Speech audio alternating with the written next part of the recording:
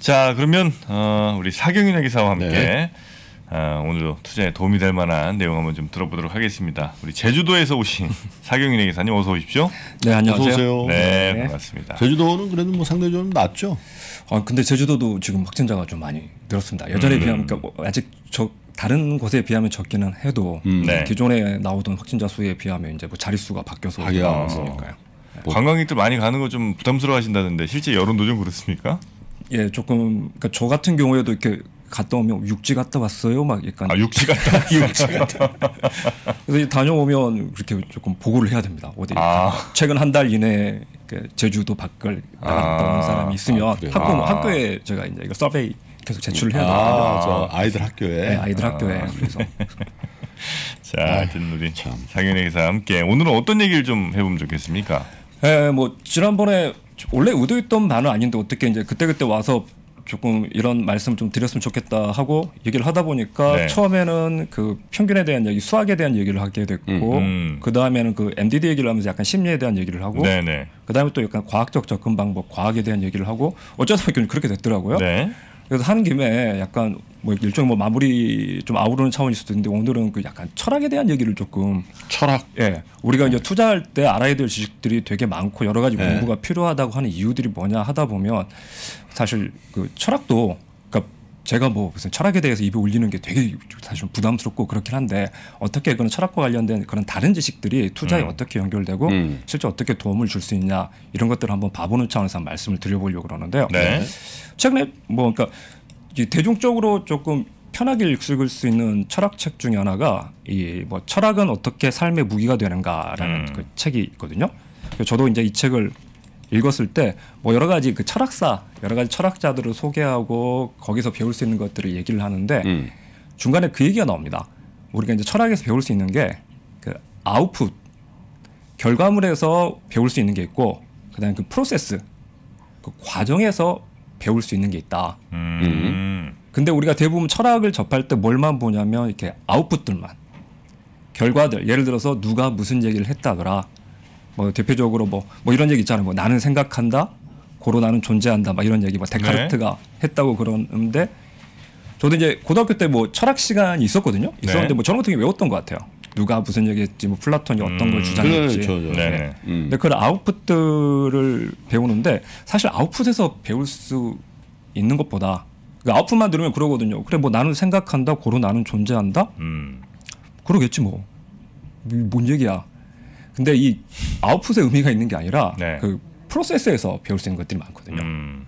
사실 예전에 그 철학이 던지는 질문들의 종류를 보면 대표적인 질문 중에 하나가 그겁니다. 이 세상이 무엇으로 이루어져 있냐? 네. 음. 이 세상이 어떤 걸로 이루어졌냐? 그리고 우리는 어떻게 살아야 되나? 이게 이제 철학이 어떻게 보면 가장 큰 두 가지 질문 중으로 음. 볼수 있는데 세상이 무엇으로 이루어졌냐라는 질문에 대해서 철학자가 어떤 대답을 내놨냐면 이렇게 대답을 내놨어요. 세상은 물하고 불하고 공기, 흙으로 구성되어 있다. 음. 그래서 이 네 가지 원소로 구성되어 있다라는 게 아리스토텔레스가 했던 얘기거든요. 네. 네. 배운 것 같아요 고등학교 때. 네. 이렇게 되고 여기 이제 나중에 릭배송이 여기에다가 다섯 번째 원소. 제목 원소. 그렇죠. 사랑이다 막 이러면서 아. 영화도 만들고 막 이랬는데. 네. 음. 근데 야우푼만 보면 세상이 물, 불, 공기, 흙으로 구성되어 있다고? 음. 얘 사기꾼 아니야? 이렇게 되잖아요.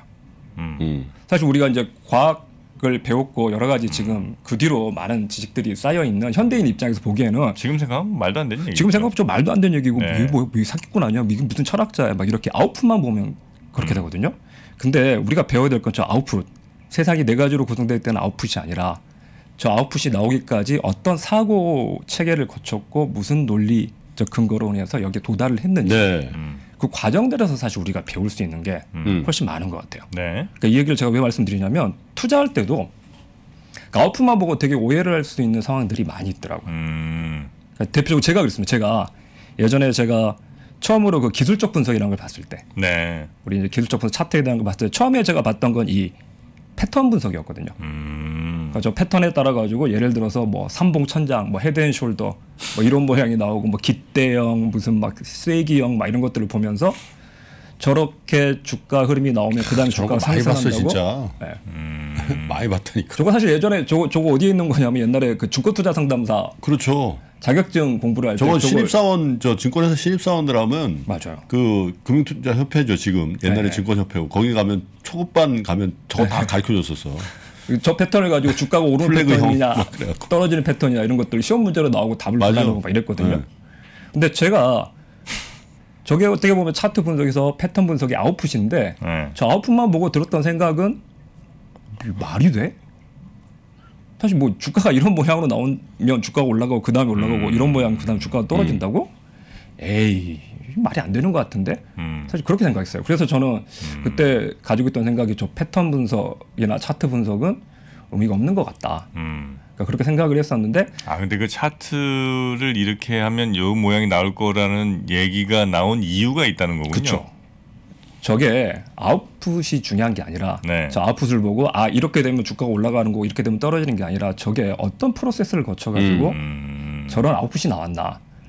사실 저건 들어가 보면 약간 군중심리에서 나오는 그렇죠. 쉽게 말하면 그거죠.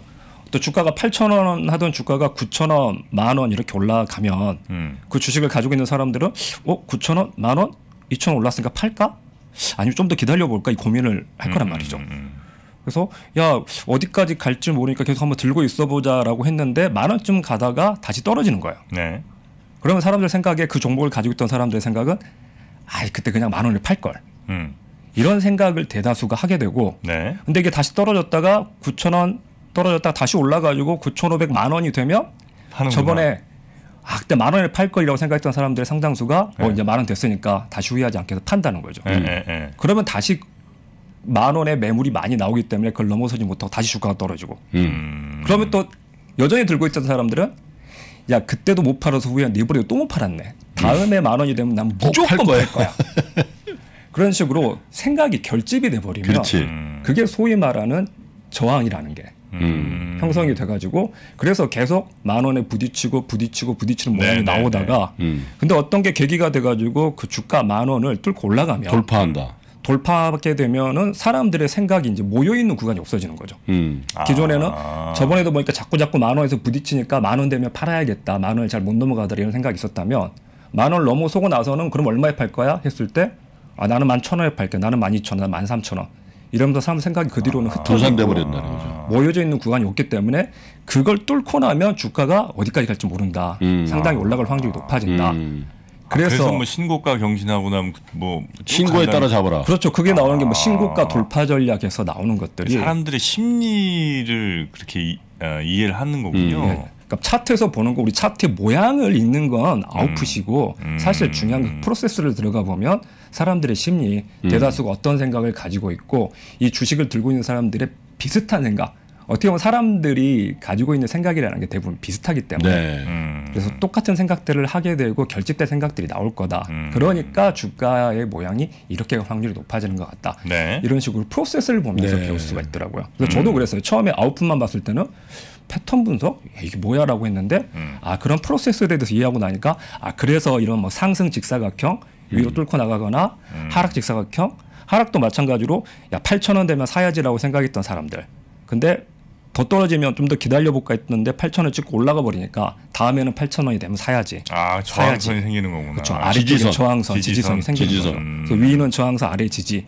그래서 이 저항이나 지지를 뚫어버리면 음. 그 다음부터는 어디까지 갈지 모르는 위로 어디까지 갈지 아래로 어디까지 떨어질지 모르는 상황. 아. 그래서 우리가 배워야 될 건 그 아웃풋이 아니라 프로세스가 아니냐. 그래서 저도 네네네. 처음에는 아웃풋을 보고 차트나 이 기술적 분석에 대해서 되게 반감을 가지고 오해를 하고 있다가 음. 프로세스를 들여다보면서 사실 제가 이제 프로세스들을 들여다봤던 건 지난번에 말했던 그 과학적 접근법. 네. 실제로 이런 모멘텀이라 이런 것들에 대해서 논문을 찾아보면 실제로 그런 움직임들이 나온다고 나오거든요. 음. 뭐 진짜 그런 게 나온다고? 어떻게 나오는 거지?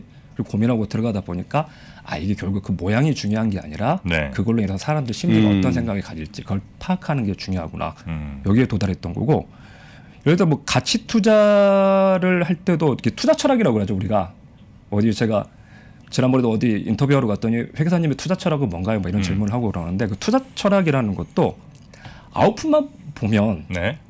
거기서 배울 수 있는 게 사실 아, 그렇게 별게 없을 것 수. 있죠. 예. 네. 지난번 제가 말씀드렸던 뭐 좋은 기업의 장기 투자하라 이것도 어떻게 보면 오랜 고민 끝에 나온 아웃풋이거든요. 누구나 다 하는 얘기 같고. 그렇죠. 근데 그게 그 아웃풋만 보면 네. 사실 물불 흙 공기 같이 들리는 거예요. 지난번처럼 네, 제가 네, 그말 자체로는 큰 의미가 없을 수 있다. 음. 좋은 기업의 장기 투자라는 게 좋은 기업이 어떤 기업인지 구체적인 조건이 제시가 되지 않고 장기가 어떤 기간인지 제시가 안 된다면 음. 그냥 이제 되게 선언적 얘기에서 끝날 수가 있다라고 말씀을 드렸는데 네. 그러니까 저런 말이 나온 좋은 기업의 장기 투자라는 것도 그 아웃풋이 중요한 게 아니라 음. 이 사람이 어떤 과정을 거치고 어떤 생각을 통해서 이 결론에 도달했는지 그 과정을 보는 게 훨씬 중요한 것 같아요. 음. 그러니까 저 같은 경우에 그랬거든요. 그 투자 철학이라는 게 형성이 되는 게, 그러니까 아까 처음에 말씀드렸던 그 철학 중에서 나는 생각한다, 고로 나는 존재한다 그 데카르트 얘기가 네. 어떻게 나왔냐를 안에 들어가 보면 음. 그 나는 생각한다, 고로 나는 존재한다 이게 무슨 얘기냐고 들어가 보면 사실은 그거였거든요. 내가 믿을 수 있는 우리가 믿을 수 있는 그 명제라는 거 음. 이건 정말 참이다. 라고 얘기할 수 있는 게 도대체 뭐가 있냐. 음. 근데 대부분 우리는 내가 봤으니까 믿고 내가 직접 들었으니까 야 내가 그거 직접 봤어 내가 직접 들었어 이런 것들에 의존해 가지고 그래서 그게 사실이야 얘기를 하는데 음. 사실 우리의 감각을 믿을 수 있냐는 거죠 음. 그 대표적인 예로 그 얘기합니다 저희가 그 왼손은 찬물에 담궈 놓고 오른손은 따뜻한 뜨거운 네. 물에 담궈 놓은 다음에 두 손을 동시에 가운데 미지근한 물에 담그면 음. 느낌이 다르죠. 찬물에 담가져 있던 왼손은 이 물이 따뜻하다고 느끼고 음. 뜨거운 물에 담가져 있던 오른손은 이 물이 차갑다고 느끼는데 음. 그러면 똑같은 물에 내 왼손과 내 오른손을 넣었는데도 불구하고 이 손으로는 뜨겁다고 느끼고 이 손으로는 차갑다고 느끼는 이 감각을 우리가 과연 어디까지 믿을 수 있냐 음. 그래서 이런 것들에 대해 질문을 던지고 그러니까 이런 질문까지도 가거든요 나중에는 어디까지 가냐면 내가 지금 이 보고 있고 지금 내가 여기서 말하고 있고 시청자분들 듣고 계시겠지만 음. 이게 사실인지 네. 아니면 내가 지금 되게 생생한 꿈을 꾸고 있는 건지 음. 사실 저희도 꿈을 되게 생생한 꿈을 꿀 때는 그게 막 사실처럼 느껴지잖아요 그렇죠. 그 순간 음. 그것처럼 사실 이게 지금 꿈일 수도 있는데 이게 꿈이 아니라는 음. 확신은 어디서 나오냐 음. 이런 식으로 내가 이게 사실이라고 믿을 수 있는 것들이 계속 의문을 던지고 의심을 해보니까 계속 없어져 버리더라고요 음. 네. 그래서 거기서 나온 것도 사실 영화 그 매트릭스라는 영화를 보면 그러잖아요 매트릭스가 음. 보면 우리가 여기서 지구상에서 살고 있는 것처럼 보이지만 알고 봤더니 내 몸은 어딘가에 호흡기 꽂고 누워가지고 음. 상상을 하고 있는 거였더라라는 게 그 매트릭스라는 아이디어인데 그것처럼 내가 지금 여기서 경험하고 느끼고 있는 것들이 사실이라는 걸 내가 어떻게 확신할 수 있지? 음. 음. 도대체 이 세상에서 진리라는 게 있을 수 있나? 여기에 대해서 의심을 계속 던지다가 도달한 지점이 마지막이 어디냐면 야 어쨌거나 내가 지금 뭐 누구한테 최면에 걸려서 조종을 당하고 있던 아니면 꿈을 꾸고 있던 어쨌거나 내가 이런 고민을 하고 내가 이런 생각을 하고 있다는 건 음. 음. 내가 어딘가 존재한다는 거겠구나. 음. 그래서 내가 지금 허상을 보고 있던 뭐하던 어디가 최면이 걸려 있던 나는 지금 생각하고 있고 이런 고민들 이런 의심을 하고 있다는 건 음. 내가 존재한다는 것만은 사실일 것 같다. 음. 그래서 결국에 최종적으로 부정하기 힘든 명제가 나는 생각한다, 고로 나는 존재한다. 라고 이제 도달을 한 아웃풋이 음. 나오는 거거든요. 음. 네. 제가 이 말씀을 왜 드리냐면요. 투자할 때도 저게 제가 이제 그 비슷한 고민을 한번 해본 적이 있어요. 그러니까 주가라는 게 우리 결국 투자를 할 때 뭐 그러니까 뭐 배당을 노리고 투자할 수도 있지만 대부분 이제 시세 차익을 노리고 투자를 하잖아요. 음. 그럼 결국 이제 주가가 오르기를 기대하고 투자를 하는 건데 그럼 주가는 언제 오르냐? 어떤 조건이 됐을 때 오르냐? 여기에 대해서 이제 뭐 여러 가지 얘기들 기업 가치가 높아지면 주가가 오른다. 음. 뭐, 그러니까 뭐 산책하는 개 얘기를 하면서 개가 앞에 갈 때도 있고 뒤에 갈 때도 있지만 결국 둘은 동행한다 이런 얘기도 하고 뭐 전망이 좋으면 기업이 오른다 뭐 이런 얘기도 하고 그러는데 근데 가만히 들여다보면 기업 가치가 높아져도 주가는 떨어지는 경우도 되게 많거든요 네. 분명히 그리고 이 회사에 대해서 실적이 좋아질 거다 기대가 좋아질 거다라고 하는데도 주가가 떨어지는 경우도 있고 음. 그래서 아 이게 부정하기 힘든 명제가 아닌 것 같은데 음. 가치 투자를 제가 처음 저는 저는 가치 투자 시작했으니까 가치 투자에서 얘기하는 것들이 이게 데카르트식으로 부정을 하고 들어가 보니까 이게 참이 아닐 수도 있겠는데 자꾸 이제 이런 의심들을 하게 돼가지고 음. 그럼 부정하기 힘든 명제는 뭐냐 쫓아 들어가 본 거예요. 네. 그래서 그렇게 그렇게 하면서 들어가 보니까 최종적으로 저는 이제 도달한 지점 중에 하나는 아 결국 주가라는 건 어쨌거나 수요와 공급으로 결정이 되니까 음. 음. 그래서 무슨 이유가 됐든지 기업 가치가 오르든 떨어지든 뭐 환율이 오르든 떨어지든 금리가 오르든 떨어지든 이 종목을 지금 주가보다 더 비싼 가격에 살려고 하는 사람들이 많아지면 음. 그러면 주가는 결국 오르는 거 아니냐. 그건 조금 부정하기 힘들 것 같다. 네. 그래서 거기에 도달하고 났더니 그러면 결국에 주가라는 게 어떻게 결정되냐 보면 저는 이제 사람들의 생각에 따라서 결정이 되는 것 같아요. 음. 그러니까 예를 들어서 모든 사람의 꿈에 산실령이 나타나서 삼성전자 주가는 10만 원이다라고 얘기를 하는 거죠. 음. 그래서 사람들이 그 얘기를 다 믿는다면 주가는 결국 10만 원이 될 테니까. 그래서 거기에 도달하고 나면 결국 사람들이 어떤 생각을 하냐가 중요해지고 그때 이제 그래서 사람들이 이제 그러면 야 그럼 수급 분석 이런 게 중요한 게 아니냐 음. 그러잖아 수급 분석 차트를 보고 그게 중요한 거네 뭐 기업 가치를 보고 이런 것들은 그러면 사실 의미 없는 거 아니냐 네. 근데 이게 저는 왜 중요하냐면요. 그러니까 주가가 그렇게 결정되면 그걸 봐도 알 수 있거든요. 저희 예를 들어서 이 수급에 따라서 결정되기는 하는데 그냥 일반인들의 생각은 사실 중요하지 않은 것 같아요. 그러니까 이게 우리 주가가 생각에 따라 결정된다는 게 저번에 우리 바이든 대선 때좀 음. 웃긴 일이 있었던 게 그 한성 기업이 맞아요. 아, 바이든 바- 관련주로 테마주. 네. 테마주가 됐었잖아요. 네. 같은 대학 나왔다고. 그러니까 그 이유를 쫓아 들어가면 되게 허망하게 그냥 그 회사 대표랑 바이든이 같은 학교 출신이더라. 음. 근데 알고 봤더니 뭐 과도 전혀 다르고 다녔던 시기도 나이도 엄청 차기 때문에 겹치지도 않고 근데 뭐 이게 단순히 학교가 그 시라키스였나 그 같은 학교라고 겹쳤다는 이유만으로 관련주로 분류가 됐는데 네. 되게 웃긴 얘기죠. 말이 안 되는 얘기죠. 근데 사실 그 회사 주가는 어떻게 움직였냐면 정확히 바이든의 당선 가능성하고 같이 움직였거든요. 네. 실제로 개표할 때 처음에 초반에는 트럼프한테 밀리는 것 같으니까 그 회사 한성기업 주가가 떨어졌었고 음. 나중에 바이든 당선 가능성이 높아지니까 주가가 그대로 올라갔거든요. 그래서 뭐냐면 이건 그 사람들이 그렇게 생각을 하면 이유가 뭐든지 간에 음. 오해가 됐든 뭐가 됐든 이 종목은 바이든 당선 가능성과 관련 있는 주식이라고 생각을 하면 그렇게 거래가 되고 또 어떤 생각이 중요하냐면 사실 그 바이든하고 한성 기업을 연결시켰을 때 대다수의 사람들이 에이 말도 안 되라고 생각했거든요. 음. 근데 그 대다수의 사람들 생각이 중요한 게 아니더라고요. 누구. 누구 생각이 중요해요. 그 대다수 사람들이 중요한 게 아니라 실제로 그 주식을 사고 파는 사람들 생각이 중요한 거죠.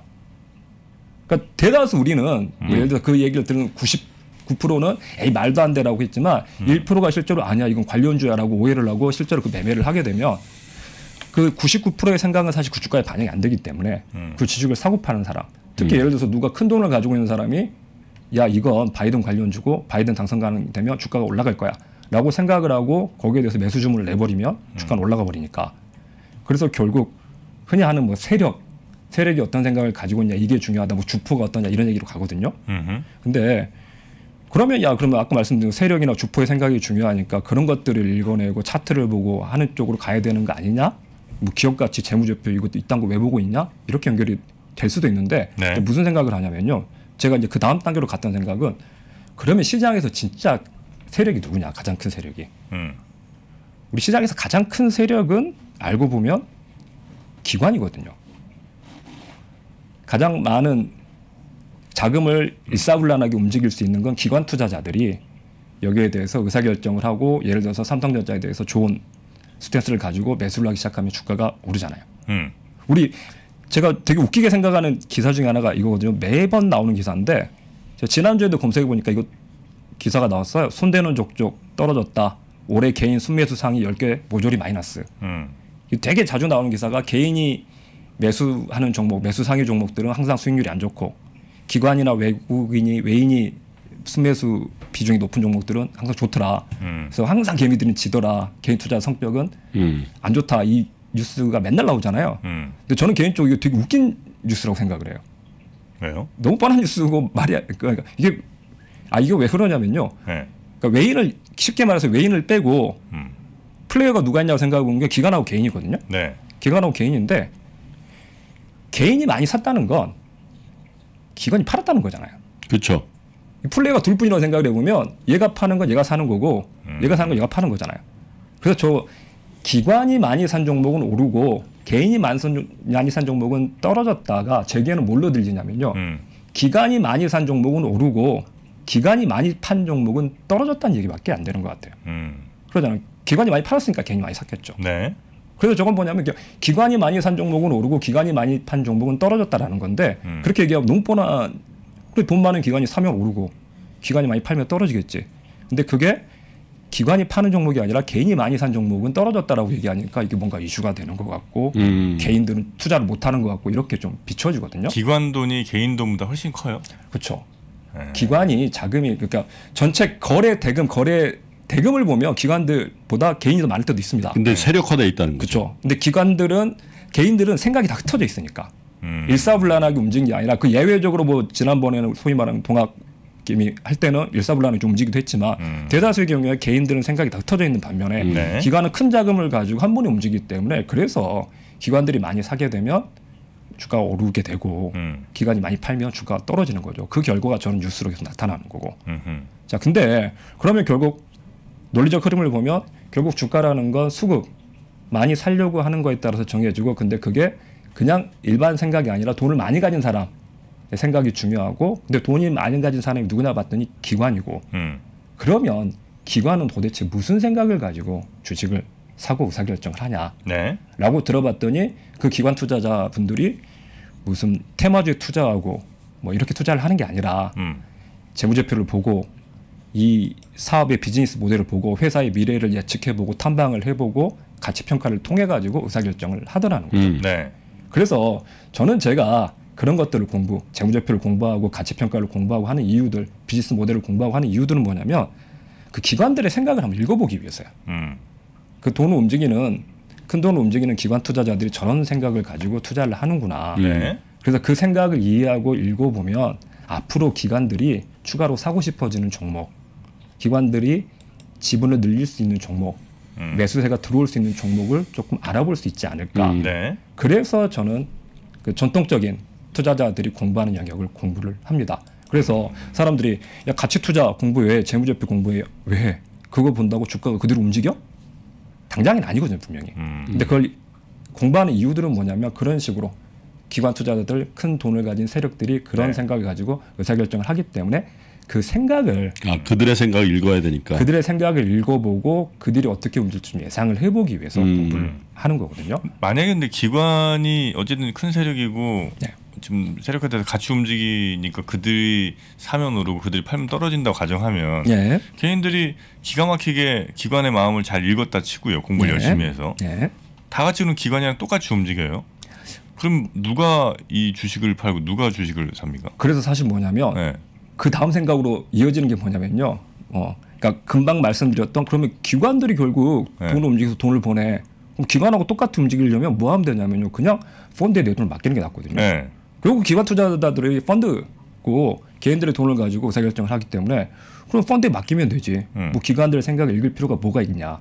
그래서 사실 저는 기관들 그 의사결정을 하는 걸 뒤늦게 따라갈 거면 차라리 펀드에 맡기는 게 낫다고 봐요. 음. 뒤따라다니면서 소위 말하는 설거지 해줄 거면 음. 기관 투자 다 사고 나서 그 뒤에 이제 따라서 뒤따라서 살 거면 네네네. 우리 사실은 따라 사잖아요. 많은 분들이 수급 분석 같은 것들을 할 때 기관이 많이 샀으니까 음. 그 다음에 따라 사고 막 이러거든요. 네. 근데 그건 제가 보기엔 좋은 투자가 아니고 음. 그렇게 할 거면 기관을 따라 살 거면 기관한테 내돈 맡겨버리면 기관이 운영하는 자금으로. 동시에 네. 내가 기관이 되는 건데 그게 낫죠. 근데 공부를 왜 하는 거냐면 저는 기관이 사기 전에 살려고 그래요.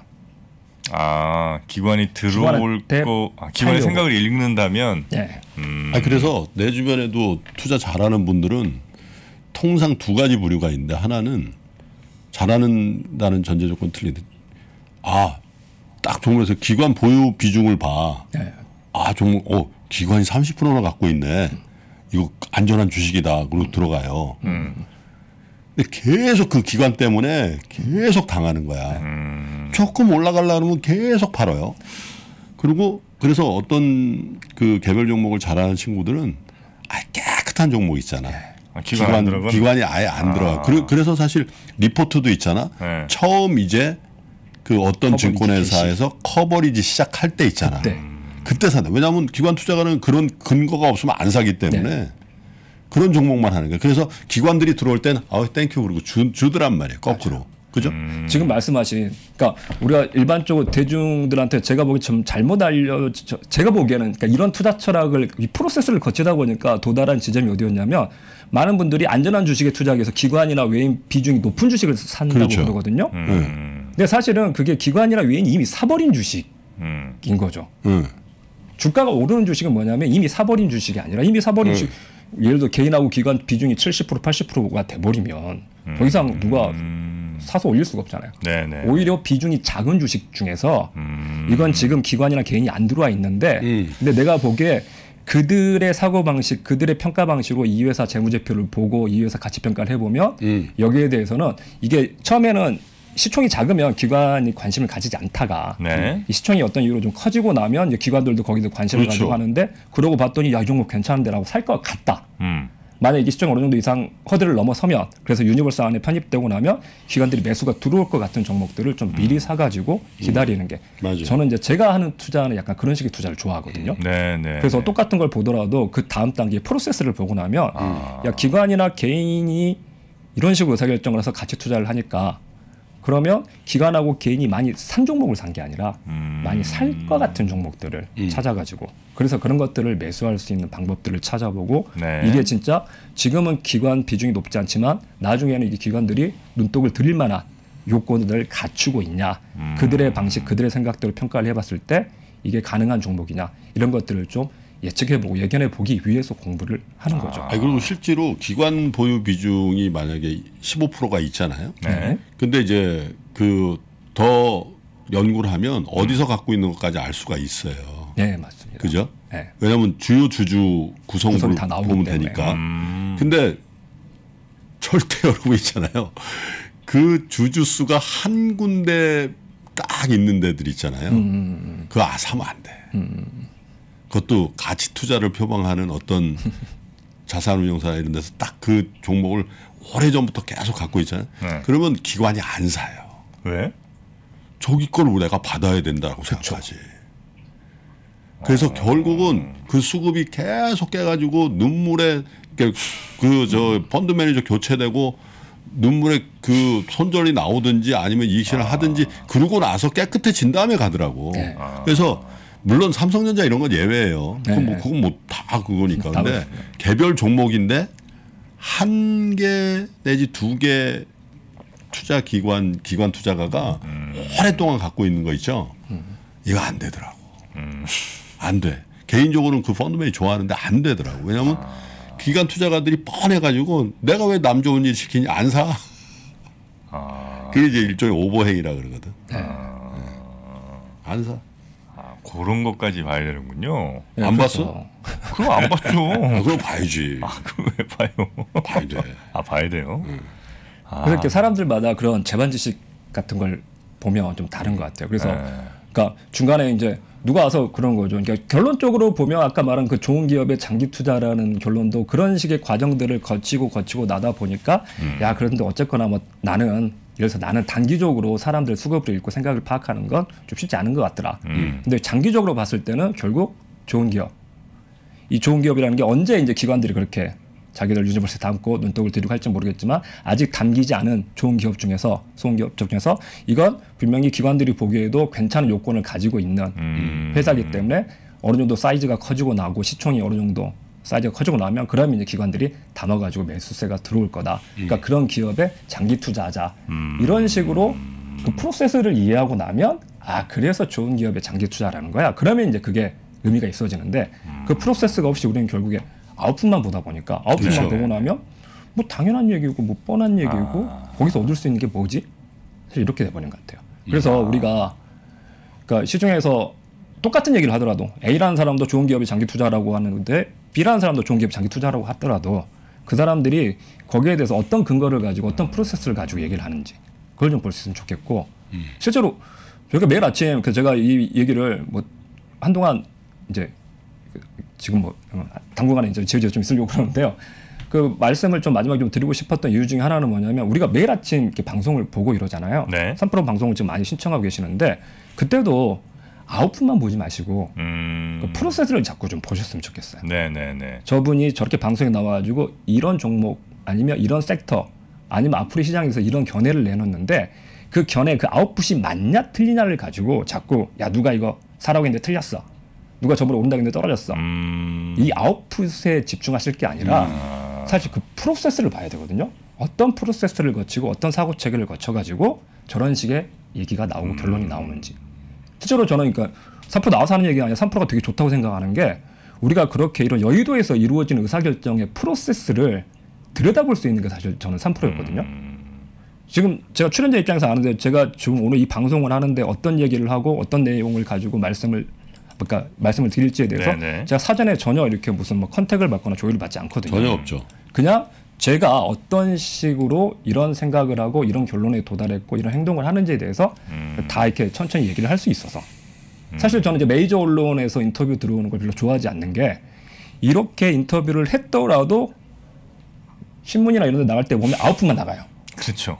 결국 사경이 2022년 뭐 잘 나간다고 해. 막 이런 식으로. 음. 그래서 그 신문 기사라는 건 어쨌거나 그 구독률을 올리고 청취율을 올리기 위해서 그 자극적인 아웃풋을 자꾸 강조를 하다 보니까 어 내가 강조하고 싶은 그 아웃풋이 아니라 그 중간에 프로세스인데 프로세스를 얘기하고 싶은 건데 그것들은 다 편집되고 다 생략되고 맞습니다. 짧게 끝나고 결국에 최종적으로 막 이런 거 그러니까 그런 거 되게 좋아하잖아요. 그러니까 출판사에서도 저번에 네. 옛날에 저한테 요청했던 게 뭐 책을 다시 이 업데이트를 하면서 뒤에 부록으로 회사님 2020년 유망주 10선 이런 거 실어주는 그런 거 옛날에 되게 많이 실었잖아요. 네. 그왜 그러냐면 그것도 또 그거를 또 이렇게 책자로. 비닐 비닐로 그쵸. 커버해 살려면 이걸 맞아. 이걸 사야 되니까. 비닐로 봉해가지고 산사 하나만 뜯어볼 수 있게끔 만들고 네. 옛날에 그런 거 되게 많이 했거든요. 근데 그런 게 다 뭐냐면 사람들이 결국 그 급하신 것 같아요. 제가 보기에는 방송 이렇게, 이렇게 투자자분들이 음. 그래서 뭐 아웃풋 빨리 아, 지금 아까도 그랬어요. 그래서 아까도 저 사회에서 막 철학 얘기하니까 아, 본론 들어가자고 본론. 어, 그래서 계속 뭐 사냐고. 거예요. 계속 아웃풋을 얘기를 하실 거예요. 그래서 그거 알기 때문에 제가 웬만하면 댓글 올라오는 잘 안 보고 말씀드리거든요. 말릴 것 같아가지고. 그래서 그 아웃풋에 대해서 얘기를 하는데 그 아웃풋이 아니라 이런 프로세스들을 볼 수 있는 과정이 예전에도 이제 물론 이제 다른 방송들도 있어. 저도 이제 예전에 뭐 다른 케이블이나 이런 데 출연도 해보고 방송도 봐봤지만 결국 사람들이 원하는 아웃풋에 대해서 얘기를 하고 그래서 뭐 오늘은 뭐 사야 되나요? 막 이런 식의 얘기를 하는데 그게 아니라 삼프로에서 그래도 상당수 분들이 와가지고 그 과정들 중간 과정들을 하고 제가 옆에 느끼는 게 그 그래서 김프로님께서 자꾸 이제 그 말씀을 하시는 게 전 느껴지거든요. 어떤 이렇게 출연자가 말을 했을 때 의견을 냈을 때 그 아웃풋을 보지 말고 그러니까 그 아웃풋이 아니라 진짜 프로세스를 좀 보셔라. 이러니까 당장에 그걸 사고 막 이게 꼭 간다는 게 아니라 음. 이런 이런 이런 과정을 거쳐가지고 이러 이러기 때문에 이렇게 된다고 생각을 하는 거다. 네. 그래서 그 프로세스들에서 내가 뭘 배울 수 있는지 어떤 식의 생각을 하는지 그러면 여의도에서 저런 식의 의사결정이 이루어지는 걸 내가 알면 아까 말씀드린 대로 그러면 이런 종목은 앞으로는 이런 종목이 음.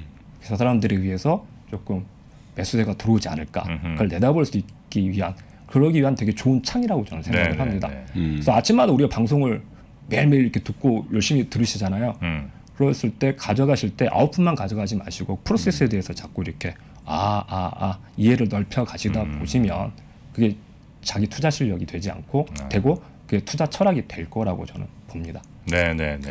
아, 근데 분명한 건 그런 것 같아요. 특별히 이제 삼성전자류의 대중주, 대형주를 제외하고 에, 개별 종목군에 들어가 있는 종목들을 사실 때 에, 아까 제가 말씀드린 두 패턴 중에 전자, 그러니까 이거 봐, 이 정도 되니까 기관이 이만큼 많이 많이, 샀겠지. 예. 그리고 최근까지도 많이 샀잖아. 이거를 의지해서 아, 물론 100번 다 맞는 건 아닌데 이걸로 의지해서 하는 거는 좀 아닌 것 같아요. 네. 예, 그리고 오히려 오히려 깨끗한 상태에서 에, 투자자들인데 에, 스마트한 투자자들이 음. 사 들어간 흔적이 있는 것들이 그건 이제 뭐 또 알아볼 수 있는 방법이 있어요. 뭐 예를 들면 에, 몇몇 증권회사 그러니까 쫙 치면 그렇잖아요. 이렇게 증권회사 쫙 순위대로 나오거든. 키움 제일 먼저 나오고. 그러니까 거래원 이렇게 보잖아. 네. 키움이 거의 대부분 1등이야. 거래량 1등이니까. 근데 어떤 종목은 유별나게 상위 거래 종목 중에 기간 중에 키움이라든지 대형 증권사가 아닌 아 중소형 증권사가 어, 중소형 증권사가 간헐적으로 상위 증권사가 있는 케이스들이 있거든. 아. 그런 건 뭐가 있다란 얘기거든, 그게. 아, 개인 투자자 중에 좀 크게 하시는 분들이 그렇게 들어가는 그랬을 가능성이 거죠? 있겠지. 음. 그냥 대중들이 막 그게 하, 아니 아니. 근데 그런 것들을 이제 유심히 보는 거야 수급으로. 음. 사실 좀 전에 거기 뭐 근데 뭐 국장은 왜 이 모양이냐 한국장 이 모양이 뭐 이런 말씀이 나오는데 저는 그러니까 어떤 주식시장에 대해서 시장이 이렇게 돼야 돼라는 측면 음. 시장이라는 게 이렇게 돼야 투자가 이렇게 돼야 된다라는 측면도 있지만 그걸 못지않게 왜 이렇게 되고 있냐도 중요하다고 생각을 해요. 음. 어떤 프로세스가 있길래 그러니까 예를 들어서 아까 말한 결국 주가라는 건 사람들의 생각대로 움직인다고 그랬는데 쉽게 말하면 뭐냐면 사람들이 주식 시장은 도박판이야라고 생각을 하면 음. 지금 이 시장에 들어가는 사람들이 다 시장은 도박판이라고 생각을 하면 그 도박판처럼 흘러간다고 생각을 합니다. 네, 네, 네. 주식 시장이라는 건 가치에 따라서 움직이는 거라 생각하는 사람들이 많아지면 음. 가치에 따라 움직이는 시장으로 가는 거고요. 음. 그래서 야 한국 시장은 왜이 모양이야라고 하시는데 사실은 한국 시장은 왜이 모양이야가 기존에는 한국 시장에서 투자하시는 분들의 생각이 그렇게 움직이니까 그렇게 갔던 것 같아요. 음. 근데 그런 생각들이 조금씩 이제 바뀌는 게 좀 분명히 느껴지거든요. 네, 네. 그러니까 재작년에 좋은 계기가 되고 이래가지고 바뀌면서 그런 음. 것들이 조금 많이 다듬어지고 아직 사실 조금 더 많이 다듬어지고 더 좋아졌으면 좋겠어요. 그래요. 근데 그래서 그 안에 있는 사람들 생각이 어떤지 네. 결국 투자라는 건 사람들의 생각을 읽는 작업이 아니냐 그런 철학들이 생겨나는 것 같아요. 그래서 사실 3%가 에, 이 초대 손님 모실 때 비교적 긴 호흡으로 모시려고 하고 에, 우리가 최근 하질 않죠. 그래서 못 하라고요. 네. 네. 에, 근데 이제 저도 이제 패널로 어떤 유튜브나 이제 방송에 나가면 이제 계속 하다가 진행자가 갑자기 훅 들어올 때가 있거든. 맞아요. 그 얘기는 이제 PD가 시킨 거야 in-ear로. 아, 좀 빨리. 빨리 결론 내. 결론.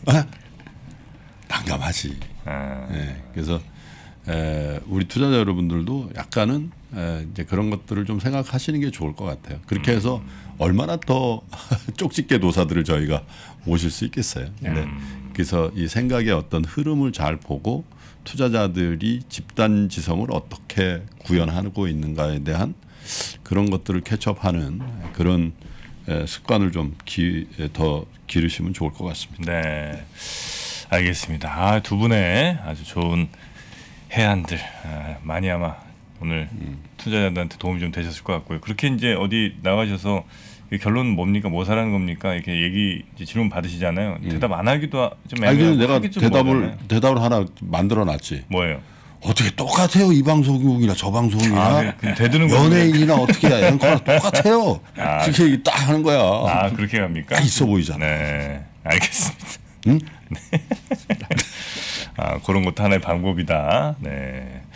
자 그러면 우리 사경인 회계사님과는 오늘은 이제 여기서 마무리하고요. 네. 어, 다음에 또 제주도에서 올라오시는 날 저희 또 스케줄 맞춰서 한번 또 모시도록 하겠습니다. 그러겠습니다. 확실히 제주도에 계시니까 아마 책 읽을 시간도 충분히 또 확보가 좀 되시는 것 같고 네, 그런 좋은 것 시간이. 예 훨씬 더 많아지시는 것 같습니다. 아 부럽습니다.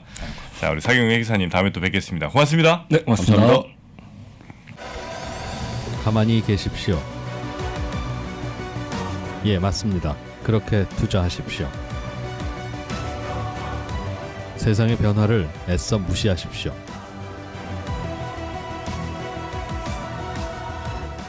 이전의 방식으로 세상을 볼 수가 없어진 겁니다.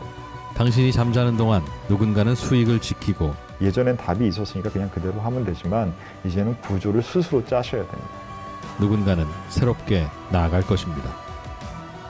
변화하고 싶다면 지금 만나십시오. 오종태의 투자 신세계.